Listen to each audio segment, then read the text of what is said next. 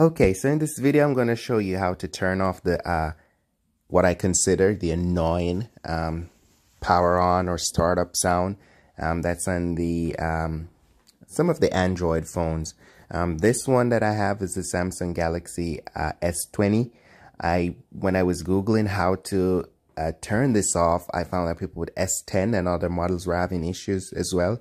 Um, so this might be helpful for you. I just upgraded from the S9 Plus and I never had this issue. So this was new and, and quite annoying. Um, so here's the sound that comes on when you power the phone on. So I don't, I don't want any sound. So I'll show you. Um, so it took up me a while to figure it out. It was really um, annoying.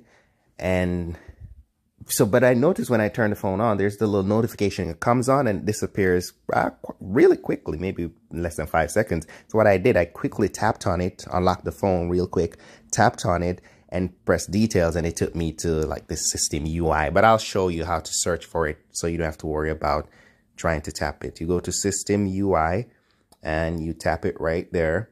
When you come to system UI, you'll see notifications allowed you can't turn it off. You cannot turn off uh, the notification because it will notify you for things like low battery, um, screenshots. You can turn screenshots screenshots off because as you can see, it's in blue.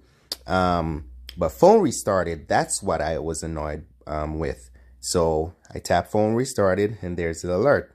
If you go to the sound, that's the sound it makes. So instead you go to silent. So technically you can turn off the notification, but you can turn off the sound.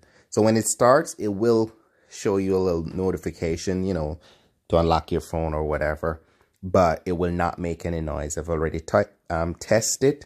Um, so I hope that this helps you. Um, again, search for System UI, tap on notification, go to phone restarted, and you'll be on your way.